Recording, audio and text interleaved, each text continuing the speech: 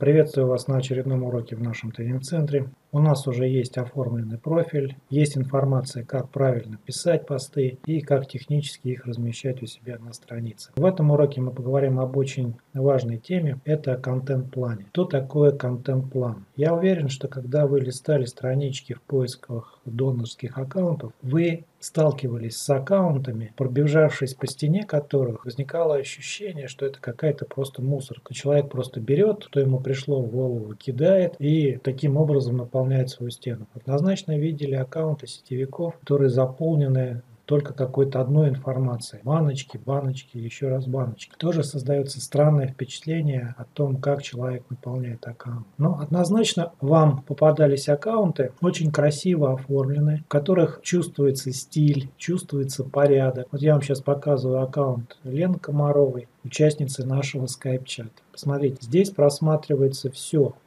И стиль, и понимание, что я делаю, и вовлечение.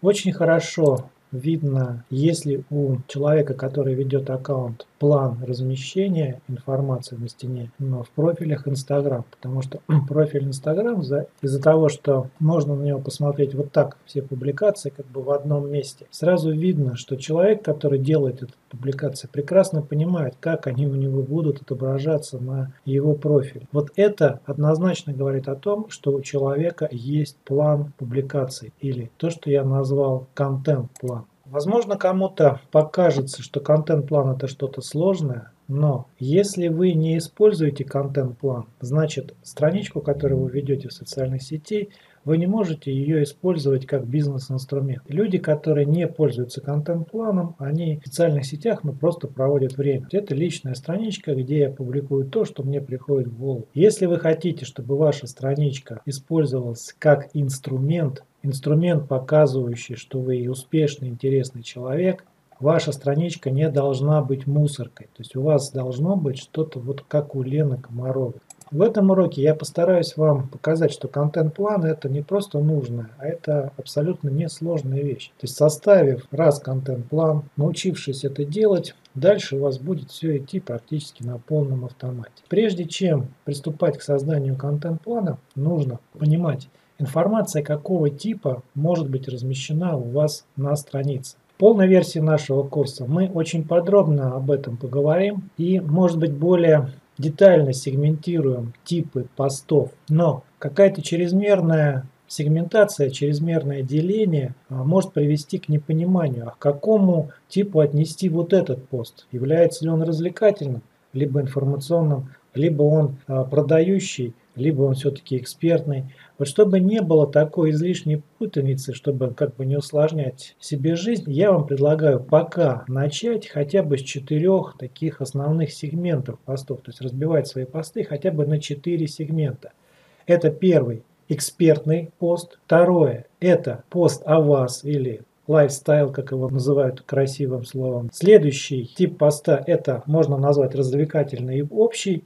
И, конечно, продающий пост – это прямая продажа. Вот такое несложное разбиение всей информации, которую вы публикуете себя на стене, позволит вам создать контент-план. Нужно четко понимать, какая информация относится к экспертным, или к развлекательному, или к продающему типу. Я вам сейчас постараюсь немного об этом рассказать. Вы для себя сами должны вот сделать такое разбиение. Вот обратите внимание, для понятности и наглядности я использую интеллект-карты. Это один из инструментов, о которых я рассказывал в курсе «Полезный инструмент». Что можно считать экспертным постом? Это ваше экспертное мнение, о какой-то проблеме, новости, где вы высказываете свое мнение основываясь на своем каком-то опыте. Объясняете, показываете, к чему это может привести, как, это, как эта проблема, если эта проблема может, может быть решена. Очень хорошо работают в плане экспертных постов посты. Это как сделать это-то или то-то. Какие-то практические советы, пошаговые рекомендации, чек-листы и так далее. Конечно, к экспертным постам, которые показывают, что вы реальный эксперт, что вы не просто человек, который о чем-то говорит, это какие-то практические результаты. Здесь может быть и награждение вас чем-то, или участие вас где-то. Но очень круто работают какие-то результаты ваших учеников, либо если мы говорим о здоровье, результаты ваших клиентов, то люди благодаря вам какие проблемы они смогли решить. Тип постов, которые я назвал здесь у вас или личный, к ним можно отнести все посты, в которых вы размещаете фотографии, на которых вы лично сам находитесь. Но чаще всего сюда размещают такую информацию, которая не связана с вами как с экспертом. Это чаще всего вы как человек, потому что мы же двигаем личный профиль. Здесь, конечно, в первую очередь нужно показывать не ваш бизнес, не вашу работу, а вас именно как человека. Как вы отдыхаете, какая-то ваша личная жизнь, ваши друзья, там, встречи с друзьями, знакомыми. Только не нужно, конечно, снимать какие-то пьянки, гулянки, но это не совсем будет биться с вашей экспертностью, особенно если мы говорим о здоровье, то есть человек рассказывает о здоровье, а тут какие-то жирные люди, которые лицами лежат в тазиках с салатами. Конечно, очень хорошо работают это путешествие. Если человек может путешествовать. Это яркое доказательство того, что человек успешен. И, конечно, ваше хобби, чем вы увлекаетесь, раскрыть многогранность вас как личности. Можно об этом тоже размещать информацию, и это будет все тему, потому что, а, еще раз повторюсь, MLM это личные отношения, люди идут на людей. Если вы смогли показать человеку, что вы не просто специалист, а вы еще просто интересный человек, то это вам даст дополнительные плюсы. Посты, которые я назвал развлекательными или общими, общими. Здесь может быть ну, все что угодно какая-то просто интересная информация, которая ну, привлекла внимание вас, на какую-то вообще тему, интересующую всех, например. Или очень хорошо работают какие-то сбор, то есть, например, сборки интересных книг, там, сборки интересных песен, а, сборник, сборки интересных фильмов, что бы вы хотели посмотреть или так далее. Рейтинги какие-то очень хорошо работают. Все это можно отнести к общему, к информационному, к развлекательному контенту. Ну и, конечно, то, что почему-то очень очень часто сетевики используют у себя, это продающие посты. Что считается продающим постом? Вообще-то любой пост из раздела экспертный, любой пост у вас лично, это скрытая продажа. То есть если вы показали что вы очень крутой эксперт, и тем самым вы подтолкнули человека, чтобы он пришел к вам на консультацию. Если вы показали человеку, что О, вы очень красиво и интересно живете, вы опять же подтолкнули человека, чтобы он вас спросил, а как вы этому, как вы этому достигли. Продающий пост крайне сложно отнести, вот что я отнес к разделу развлекательный. Я говорю о прямой, открытой, незавуалированной продаже. Это не только акция со скидкой на какой-то продукт. Это может быть какая-то акция на вашу услугу как специалиста, на вашу консультацию. В связи с тем-то, с тем-то вы, например, объявили скидку на свою консультацию. Либо там в связи с тем-то, тем-то, получив консультацию от меня, вы получаете то-то, то-то. Вот это тоже все прямые продажи с объяснениями, почему, например, цена формируется вот таким вот образом. Одним из домашних заданий будет сделать вот такую сегментацию по типам пост. Причем кто-то, может быть, добавить какой-то дополнительный сегмент, но опять же, не надо увлекаться, нужно четко понимать для себя. То есть, если вы понимаете, к чему отнести, к какому типу поста отнести ту информацию, которую вы размещаете, то это прекрасно. Как только вы определились с типами информации, которые будете размещать в социальной сети, нужно перейти к шагу номер два. Нужно честно себе сказать, как часто я смогу размещать информацию у себя на стене. Причем здесь не надо поступать по принципу, вот в это, на этой неделе у меня будет много времени, я размещу там 5 постов, а вот на той неделе у меня вообще времени не будет, и я вообще ничего не буду размещать. Это не вариант. Пожалуйста, определитесь, что в связи с моей занятостью, в связи с моей экспертностью, которая может быть так невелика, есть я не могу много выдавать контент. Я максимум, что могу, например, два раза в неделю размещать посты у себя на стене. Но лучше два хороших поста, чем 20 каких-то абсолютно непонятных. Как только вы определитесь с типами постов, с количеством размещений, потому что нужно четко понимать, что публикация информации у себя на стене – это не самое большая трата времени в социальных сетях. Самая большая трата времени – это активность, на которой у нас будет отдельный урок. Именно на это больше всего тратится время. Значит, мы определились и с типами, и определились количественными характеристиками. Открываем Excel. Это проще всего сделать именно в Excel. Я, например, буду размещать по понедельникам и по четвергам. Вот два дня, в какие я буду размещать. И смотрю, например, хочу написать контент-план на апрель. 6, 10. Пишу. 6 апреля. Дальше. 10. И вот так вот в датах расписываю весь месяц. Итак, таблица с моим контент-планом на апрель месяц у меня готова. Я расписал даты, когда я должен делать публикации. Сразу написал время, в которое я буду делать публикации. То есть написал самое популярное время. Если вы размещаете публикацию вот с 19 до 21 часа по Москве в социальных сетях, больше вероятность того, что вашу публикацию увидят, потому что именно в это время народ сидит в социальных сетях чаще всего, и начнут делать какую-то первую активность. Возможно, она будет подхвачена из-за первой активности в социальных сетях и начнет активно продвигаться. Теперь нам нужно разместить вот в этих клеточках название типов постов. То есть что вы будете делать 6, 10 и так далее. В зависимости от четырех, как в моем случае, типе постов. Зачем мы сделали эту табличку? Потому что благодаря вот этой таблице вы сможете не уйти в какие-то крайности. Потому что одна из основных ошибок это заполнить всю стену либо одной развлекухой, либо одними продажами. Но благодаря вот такой табличке вы можете контролировать, а не перебарщиваете ли вы с каким-то определенным типом постов. 6 апреля я делаю экспертный пост. Можете сразу написать в скобочках, о чем будет этот пост, ну хотя бы тематику этого поста. 10 апреля я могу разместить личный развлекательный и продающий пост. То есть можно, конечно, пойти вот по такой простой схеме. Вот как мы их выложили, так они у нас и размещаются в контент-плане. Но если у вас разбивка только на 4 типа поста, то у вас продающий пост будет занимать 25% от общей информации. Это слишком много. Прямая продажа не должна быть а, настолько часто. Поэтому в зависимости от того, как у вас складывается месяц, например, в этом месяце вы больше где-то отдыхаете, можно больше информации выложить от себя. В следующем месяце у вас прям достаточно много работы, вы можете сделать чуть больше экспертных постов. Ну, с развлекухой тут лучше как бы не перебарщивать. И начинаем тогда выкладывать. Здесь личный, личный пост, здесь опять экспертный.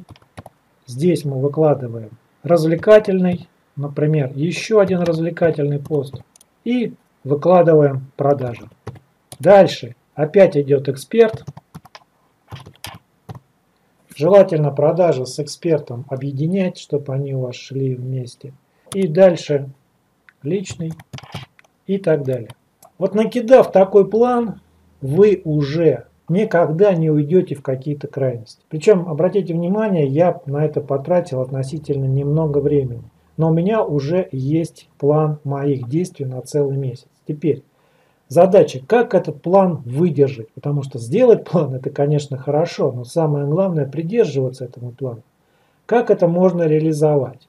В курсе «Полезные инструменты» я рассказывал о хорошем инструменте, который называется Лидер Task. Если вы на 6 апреля запланировали у себя экспертный пост, и его нужно выложить 19 часов, я так и пишу. Написать экспертный пост о сайте визитка. Беру его и перетаскиваю по временной шкале, ну, например, на 18 часов. Я его напишу, 18 часов мне программа скажет, что нужно писать, я его напишу и выложу. И вот таким вот образом я прохожу по всем другим дням и размещаю в соответствии с своим контент-планом напоминашки себе, что мне нужно писать. Это первый вариант. Но есть еще один вариант, который ну, лично мне больше нравится. Довольно часто возникает желание, ну там творческое у вас озарение – и у вас есть возможность сесть и написать сразу вот все эти посты за один, как говорят, присест. Вы садитесь, пишете всю эту информацию, и затем вся эта информация выкладывается в сервис, ну, например, Новопресс, о котором я буду подробно рассказывать в закрытой части нашего тренинга. Конечно, этот сервис очень хорошо себя проявляет, когда у вас несколько социальных сетей. Но даже если у вас одна социальная сеть, он вам поможет. Благодаря этому сервису вы все свои посты, которые запланировали на месяц, загружаете в сервис NovaPress, ставите в какие даты сервис должен сделать публикации и забываете о наполнении своего профиля какой-то информацией. Сервис будет сам публиковать информацию, которую вы в него загрузили, по мере того, как будет поступать дата публикации. Это очень хороший сервис, я о нем рассказывать сейчас не буду. Я дам на него ссылку, у кого хватит технической грамотности разобраться с ним, пожалуйста, разбирайтесь, он несложный, у него есть обучающая система, у него хорошая техподдержка и целая неделя тестового периода можете потестировать, посмотреть, как это все работает. В закрытой части этого курса я расскажу о нем подробно, потому что я им давно пользовался, пользуюсь и мне он очень нравится, потому что ребята стабильно и долго работают. Пожалуйста, сформируйте свой контент-план, пропишите его, это будет одним из домашних заданий. Ну а в заключение ролика я расскажу о ну, тех ошибках, которые чаще всего делают сетевики. Ошибки эти вы, скорее всего, увидите через какое-то время сами, когда будете ходить по страничкам других людей, когда у вас уже будет появляться понимание, что надо делать в социальных сетях, что не надо. Какие типичные ошибки? Ну, первая глобальная ошибка – это отсутствие вообще какого-то плана. То есть, еще раз повторюсь, это наиболее типичная ошибка, когда вся стена – это какая-то мусорка. Вторая типичная ошибка – это когда нет единого стиля. Вот почему я вам показываю профиль Елены, потому что в этом профиле очень хорошо просматривается стиль. Даже в цветах, в оформлении. Но самое главное, этот профиль продвигает личностный бренд. То есть человек продвигает не свою компанию, он продвигает себя. Если вы обратите внимание, на большинстве постов личная фотография Елены. То есть человек двигает себя. Об этом нужно помнить и единый стиль, личностный бренд, ваша фотография, хорошая фотография. Если вы придержитесь той рекомендации, которую я вам дал, то есть сходите в студию и сделайте профессиональные фотографии, можно эти фотографии на белом фоне очень легко и просто обрезать, у вас будет контурная фотография. И тогда такую контурную фотографию можно вставлять поверх любой картинки и брендировать ее своей личной фоткой. Следующая типичная ошибка, с которой встречаешься довольно часто, это перекос в какую-то определенную сторону.